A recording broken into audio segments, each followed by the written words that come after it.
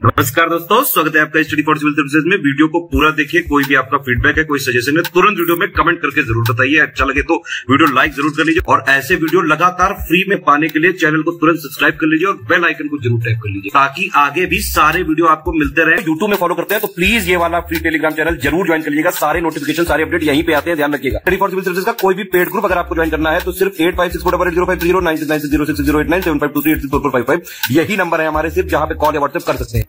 Instagram पे हमारा page ज़रूर फॉलो कर लीजिएगा। Study for Civil dot Services है। ट्विटर पे हमको ज़रूर फॉलो कर लीजिएगा। At the rate Study for Civils है। सारे क्वेश्चन अटेम्प्ट करिए और स्कोर अपना तुरंत कमेंट करके बताइए। नमस्कार दोस्तों, स्वागत है आपका स्टडी फॉर सिविल सर्विसेज़ में।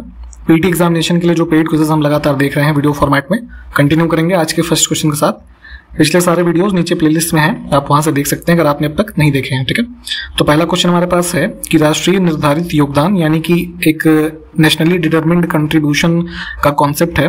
अ, हमारा जो ये C O P twenty one हुआ था जिसको कि पेरिस डिक्लेरेशन के रूप में भी आप जानते हैं ठीक है?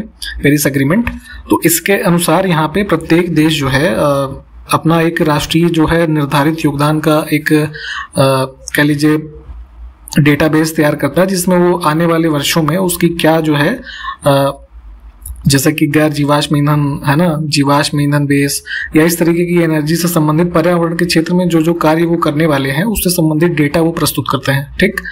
तो इसमें इसी के क्रम में पूछा जा रहा है कि भारत 2030 वर्ष में स्थापित बिजली उत्पादन क्षमता का कितना प्रतिशत जो है गैर जीवाश्म ईंधन आधारित जो है, उसका होगा। तो 2030 के अंत में जो है, अगर हम भारत में जितनी भी कुल इलेक्ट्रिसिटी जो है प्रोड्यूस करेंगे जनरेट करेंगे तो उसमें हम टोटल जो उसको प्रोड्यूस करने में फ्यूल यूज़ करेंगे, वो उसमें 50 परसेंट के आस, जो है, करीब है। हम नॉन फॉसिल फ्यूल बेस्ड जो है फ्यूल को यूज़ करेंगे, ठीक? तो यही इसमें पूछा जा रहा था, हमारा सी ऑप्शन जो है, ये करेक्ट होगा। हाल ही में प्रकाशित एक आत्मकथा जिसका टाइटल है the hero of Tiger Hill autobiography of a Paramvir है ना? ये पूरी पुस्तक का आत्मकथा का नाम है इसको किसने लिखा है? तो लेखक हैं योगेंद्र सिंह यादव है ना? इन्हीं की एक तरीके से जीवनी है। उन्नीस सौ निन्यानवे के जो कारगिल वॉर थे तो वहाँ पे इस उस वर्ष में जो है उस युद्ध में अ, इनकी उम्र जो है लगभग 19 वर्ष की थी और वहाँ पे इनके जो एक भारत की तरफ़ से अ, जो एक्शंस उस लड़ाई में जो किए गए तो उसके लिए सबसे यंगेस्ट परमवीर चक्र के लिए इनको जो है चुना गया था। तो इन्हीं सब इवेंट्स के एक कंपाइलेशन के रूप में एक पुस्तक जो है, इसको पब्लिश किया गया है अभी हाल ही में। तो नाम ध्यान रखें और लेखक का नाम। 10 सितंबर 2022 को प्रधानमंत्री मत्स्य संपदा योजना इसको शॉर्ट फॉर्म में यहाँ पे पी एम एस वाई लिखते हैं। तो इसके कंप्लीट होने के कितने वर्ष पूरे हो गए हैं तो इसको 10 सितंबर 2020 को लॉन्च किया गया था तो दो साल हमारा पूरा हुआ है। फिशरीज सेक्टर के संवर्धन के लिए इस योजना को जो है लॉन्च किया गया था। जो जल शक्ति मंत्रालय है उसके द्वारा। 10 सितंबर 2022 को पूर्व केंद्रीय गृह मंत्री गोविंद बल्लभ पंत की 135वीं जयंती मनाई गई। तो ये किस राज्य के पहले मुख्यमंत्री थे ये बताना है ठीक है? तो ये तो आपको पता ही होगा उत्तर प्रदेश के जो है मुख्यमंत्री रहे थे पहले और 1956 से लेकर के जो है अ, उसके बाद के गवर्नमेंट में यहाँ पे ये भारत के केंद्रीय गृह मंत्री भी रहे थे सरदार पटेल जी के बाद।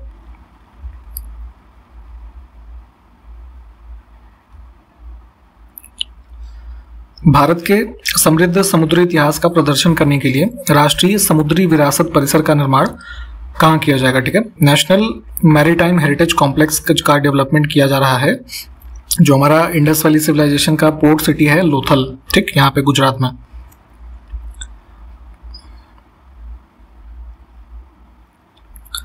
हाल ही में उपराष्ट्रपति जगदीप धनखड़ ने मजम उल बहरैन पुस्तक के अरबी संस्करण का विमोचन किया। तो मजम उल बहरैन जो है, किसने लिखी है ये पुस्तक? तो यहाँ पे देखेंगे जो है ये मुस्लिम रूल के टाइम पीरियड में दारा शिकोह के द्वारा ये लिखी गई थी पुस्तक। उस समय की हिस्टोरिकल इवेंट्स के बारे में। मूलतः ये पुस्तक जो है फारसी में लिखी गई थी। तो अभी रिसेंटली इसके अरबी वर्जन का जो है हमारे जो वर्तमान के उपराष्ट्रपति हैं जगदीप धनखड़ जी ने, है ना, इसको किया है।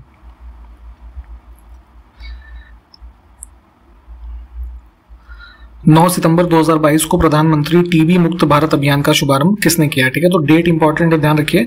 और भारत से ट्यूबर क्लोसिस यानी टीबी की जो बीमारी है, इसके जो है, एक तरीके से समाप्ति के लिए एक अभियान चलाया गया है जिसमें इस सब के इस डिज़ीज़ के जो है निवारण के लिए तमाम तरीके के स्टेप्स उठाए जाएँगे। और इसको लॉन्च किया है हमारे राष्ट्रपति जी ने।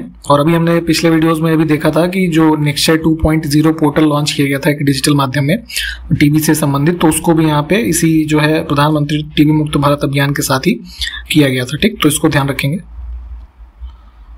हाल ही में हेरोइन यानी कि जो मादक पदार्थ होता है तो इसकी तस्करी के रोक के रोकथाम के लिए, है ना गियर बॉक्स जो है एक ऑपरेशन शुरू किया गया है किसके द्वारा, ठीक है?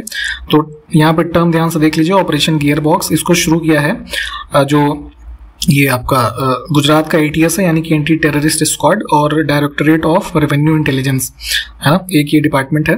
तो इन दोनों के जो है संयुक्त रूप से इस, अभियान को चलाया गया है। भारत में आयोजित होने वाले फीफा अंडर 17 महिला विश्व कप 2022 का शुभंकर यानी कि मैस्कॉट जो है वो क्या है? तो देखिए, अभी 10 अक्टूबर से जो है ये इन खेलों का आयोजन किया जाएगा और इसके लिए जो भारत का ये मतलब मैस्कॉट जो है, इसको रिलीज़ किया गया अभी रिसेंटली इसका नाम है इभा, है ना? ऑप्शन ए जो है, ये करेक्ट होगा। इबा का मतलब ये है कि जो हमारे ये गिर नेशनल पार्क में जो एशियन, एशियाटिक लाइन जो है, वो पाए जाते हैं, ठीक है? भारत में एक ही जगह ये है जहाँ पे ये पाए जाते हैं। तो इनकी जो है एक महिला यानी कि एशियाटिक लाइनेस जो है, उसके रूप में इसको दर्शाया गया है, जिसका नाम है इबा ठीक? तो ध्यान रखिएगा। अच्छा ये बताइए, ये कहाँ पे आयोजित होगा भारत में? किस जगह? किस राज्य में? देखिए, इंडस वैली सिविलाइजेशन की जो साइट है चनहुदड़ो जो वर्तमान में पाकिस्तान में स्थित है तो इसकी खोज एन जी मजूमदार ने किस वर्ष में की थी? तो ये वर्ष है हमारा 1931 ऑप्शन बी। सूती के कपड़े का टुकड़ा जो है, कहाँ से प्राप्त हुआ? तो जो कॉटन के क्लॉथ्स होते हैं तो इसके कपड़े का एक पीस जो है यहाँ पे इंडस वैली सिविलाइजेशन का जो साइट है मोहन जोदड़ो है ना? यहाँ पे जब जो है एक्सपेडिशन किए जा रहे थे जॉन मार्शल की जो है अध्यक्षता में तो यहाँ से ये प्राप्त हुए हैं, ठीक? तो ध्यान रखेंगे। देखिए लाई डिटेक्टर यानी कि झूठ का पता लगाने वाला यंत्र जो है, वो क्या बोला जाता है उसको? तो वो होता है पॉलीग्राफ ठीक है? पॉलीग्राफिक टेस्ट होता है, जिसके द्वारा झूठ का पता लगाया जाता है। सीस्मोग्राफ बेसिकली जब अर्थक्वेक आता है तो वहाँ पे उसको वेव्स को मेजर करने के लिए हम इसका यूज़ करते हैं। हाइड्रोमीटर जो होता है, इसका उपयोग हम कहाँ करते हैं? जो जैसे कोई भी लिक्विड है, उसकी घनत्व तो यानी कि डेंसिटी जो है, उसको मेजर करने के लिए। और एनिमोमीटर जो होता है, ये विंड यानी कि जो हवा होती है, उसकी स्पीड को मेजर करने के लिए इसको यूज़ कर लेते हैं। ठीक तो चारों को देख लिया हमने, इसमें ए ऑप्शन करेक्ट है फ़िलहाल। इनमें से कौन सा जीव अपनी त्वचा से श्वसन करता है, ठीक है? तो देखिए रेस्पिरेशन यानी कि जो सांस लेने की प्रक्रिया होती है, जैसे हमारे आपके शरीर में जो है नाक है, ठीक? तो यहाँ पे जो केचुआ यानी कि अर्थवॉर्म होते हैं ये अपनी त्वचा से श्वसन करते हैं। इसके अलावा जैसे कि जो मेढक होता है ना तो अगर वो अंडर वाटर है पानी में तो वो उस समय जो उसकी भीगी हुई त्वचा होती है, वो उसके द्वारा श्वसन करता है। तो ध्यान रखेंगे, इसमें डी ऑप्शन करेक्ट है। शरीर की सबसे बड़ी ग्रंथि जो है इसमें से कौन सी होती है? ठीक है largest gland of human body तो ये हमारा लीवर यानी कि यकृत होता है। लोहे में जंग लगना किस प्रकार का परिवर्तन है, ठीक? तो देखिए, खुला लोहा ऐसे काफ़ी समय तक अगर खुली अवस्था में छोड़ देंगे, जैसे घर के बाहर मान लीजिए आपने कोई लोहा रख दिया तो उसमें क्या होता है ऑक्सीडेशन हो जाता है तो उसके ऊपर ऐसे जंग लग जाता है, ठीक है? रस्टिंग हो जाती है। तो ये क्या है? केमिकल परिवर्तन का उदाहरण है, ठीक? देखिए, जो नोबेल शांति पुरस्कार मिलता है प्रतिवर्ष किसी न किसी को तो महात्मा गांधी को कभी भी जो है ये पुरस्कार नहीं प्राप्त हो सका। परंतु उन्नीस सौ सैंतीस से उन्नीस के बीच में इसके लिए वो जो है कितनी बार नॉमिनेट किए गए थे, यानी कि मनोनीत किए गए थे तो इसकी संख्या है कुल पाँच। गांधी जी के मित्र हरमन कालिनबाग किस देश से संबंधित थे? ठीक है? तो जो गांधी जी के अफ्रीका, साउथ अफ्रीका में जो निवास के दौरान यहीं पर इनकी मित्रता हुई और जो ये जितने भी नॉन कॉपरेशन के टाइप के मूवमेंट और लेबरर्स के लिए जो फाइट करना तो इन सब में बढ़ चढ़कर इन्होंने जो है गांधी जी की सहायता की। तो इन सबसे संबंधित थे सी ऑप्शन करेक्ट है तो इनका नाम ध्यान रखिएगा ज़रूर। निम्नलिखित में से कौन सी जो यहाँ पे सब्सटेंस है जल में आसानी से घुलनशील है, ठीक है? सॉल्यूबल है। तो अमोनिया जो होता है, ये आपका आसानी से जल में घुलनशील होता है। ऐसा क्यों होता है कि जो जल और अमोनिया के बीच में हाइड्रोजन की बॉन्डिंग होती है, ठीक है? वो काफ़ी जल्दी होती है। और इस जो अमोनिया और वाटर के मिलने के बाद जो सॉल्यूशन तैयार होता है, वो नेचर में बेसिक होता है, यानी क्षारी होता है। देखिए, सोना यानी जो गोल्ड होता है, इसको किसमें घोला जा सकता है, ठीक है? यानी कि गोल्ड जो है, वो डिजोल्व हो जाता है, ये पूछा जा रहा है आपसे इस क्वेश्चन में। तो एक्वारेजिया यानी कि इसको जो है रॉयल वाटर भी कहा जाता है, ठीक है? बेसिकली ये एक मिक्सचर होता है किसका? नाइट्रिक एसिड और हाइड्रोक्लोरिक एसिड का, ठीक?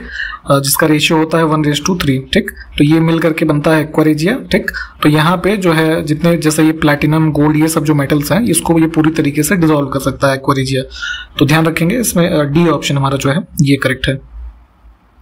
मानव गुर्दे में बनने वाली पथरी जो है स्टोन जो हो जाता है ना, आपको किडनी में आपने सुना होगा तो किससे वो मिल करके बना होता है, ठीक है? तो कैल्शियम ऑक्सलेट जो है है ना? ऑप्शन डी इससे बना होता है।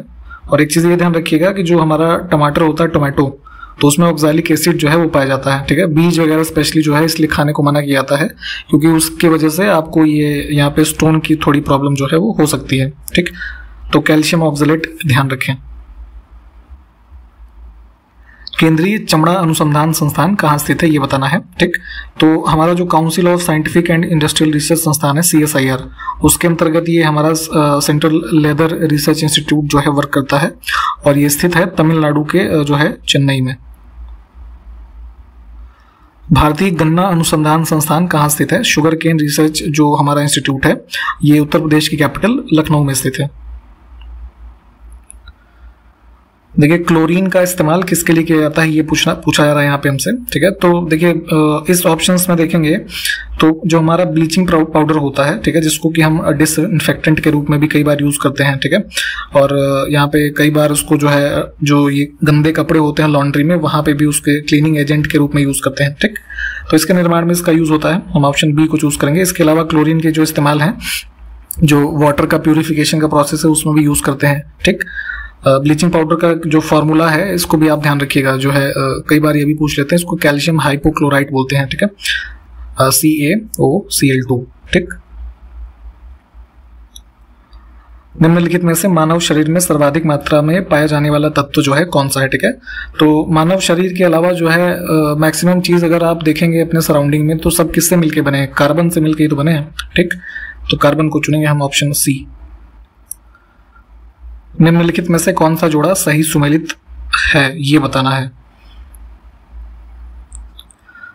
टाइपिंग थोड़ा मिस्टेक है इस क्वेश्चन में। आ, कौन सा जोड़ा सही सुमेलित नहीं है होना चाहिए ठीक है? नॉट क्योंकि शुरू के तीन जो हैं वो ठीक हैं ठीक है? ये डिस्कवरीज जो है उसके जो डिस्कवर रहे हैं उनके नाम ठीक लिखे हैं। पेंसिलिन जो है बैक्टीरिया कॉजिंग जो है डिस्कवरी जो है ये 1928 में की गई थी, आपका इनके द्वारा एलेक्जेंडर फ्लेमिंग के द्वारा, ठीक है?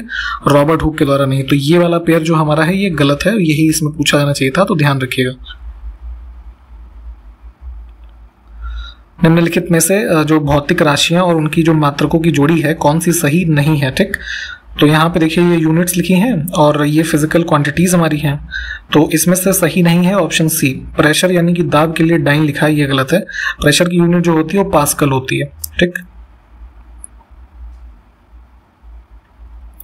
प्रतिबल का एसआई मात्रक क्या होता है, ठीक है? तो देखिए जो है कोई भी एक्सटर्नल फोर्स जो है किसी जो मान लीजिए एरिया पे लग रहा है एक्सटर्नल फोर्स तो उसको जो मेजर करने की हम कह लीजिए क्वांटिटी है हमारी, ये स्ट्रेस होती है। और इसका यूनिट हम देखते हैं, ये न्यूटन प्रति मीटर स्क्वायर होता है, ठीक? तो ये डी ऑप्शन है, इसको चूज़ कर लेंगे।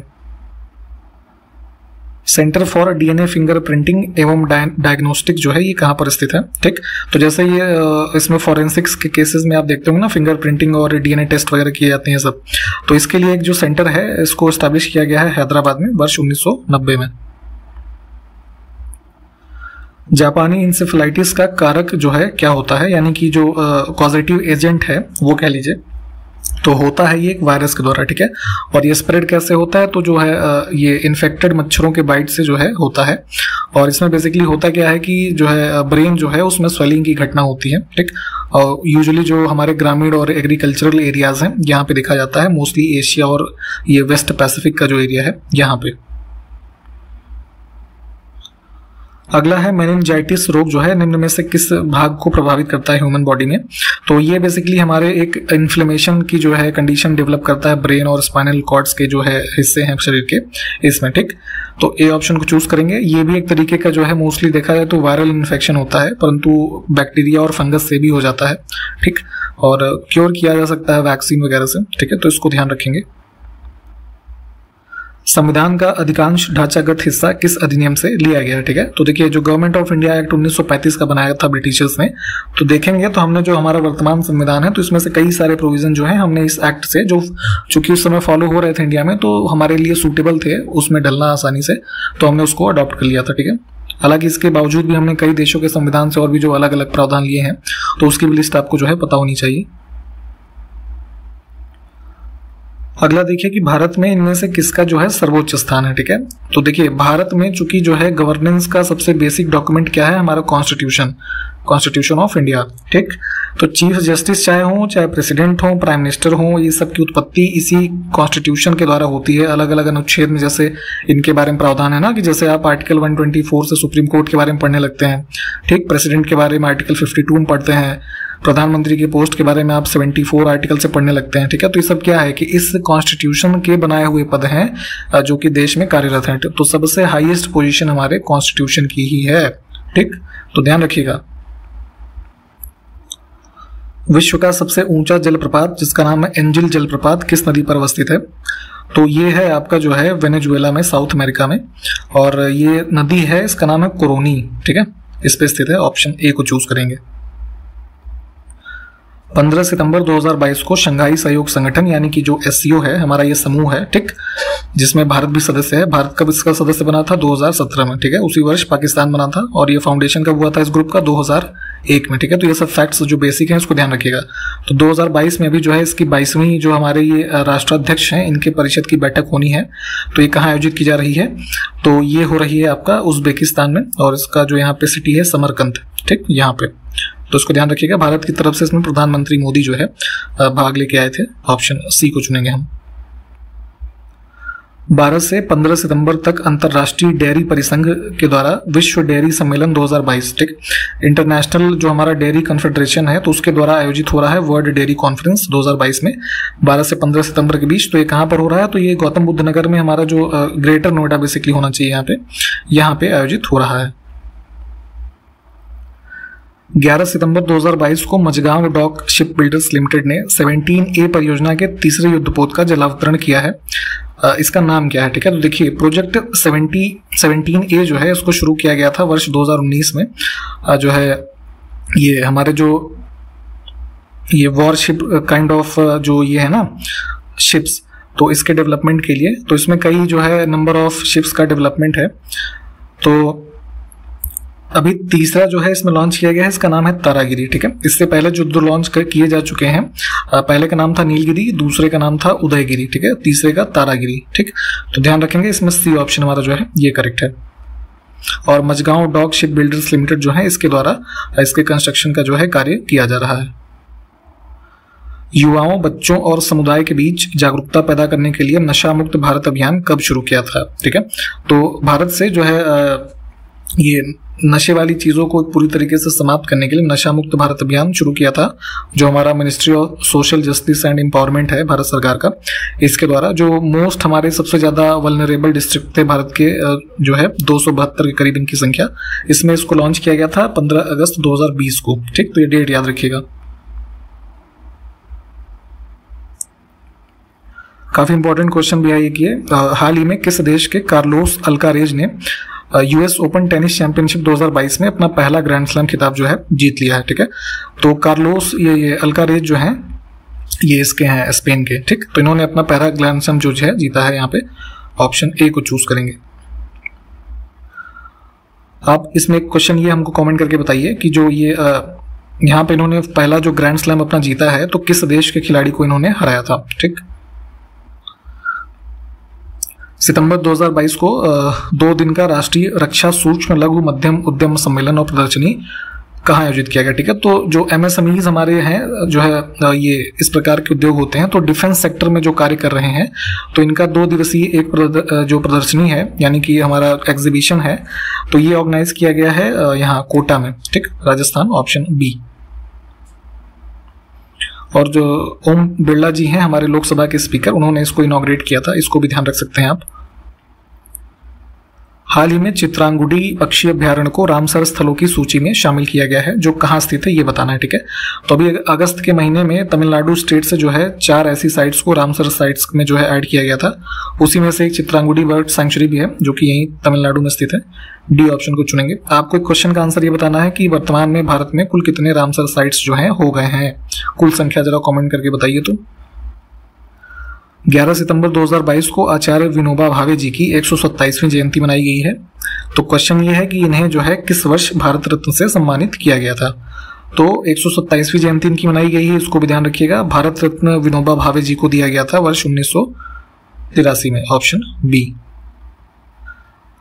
T twenty Asia Cup 2022 का जो खिताब हुआ अभी श्रीलंका ने किस देश को हरा करके जीता है? तो फाइनल में श्रीलंका और पाकिस्तान पहुँचे थे तो पाकिस्तान की टीम को जो है यहाँ पे इन्होंने हरा करके टी ट्वेंटी वर्ल्ड कप जो sorry T twenty Asia Cup जो है, जिसमें एशिया की टीम्स खेलती हैं इसमें इन्होंने जीत हासिल की है तो ऑप्शन हम ए जो है, इसको चुनेंगे, ठीक? तो आज की वीडियो में हम यहीं तक रखेंगे। सारे क्वेश्चंस को प्लीज़ आप देख लें। हमने आपसे जो भी क्वेश्चंस पूछे हैं प्लीज़ उसको आंसर कीजिएगा। हम आपसे अगले वीडियो में मिलते हैं। तब तक के लिए नमस्कार। जय हिंद।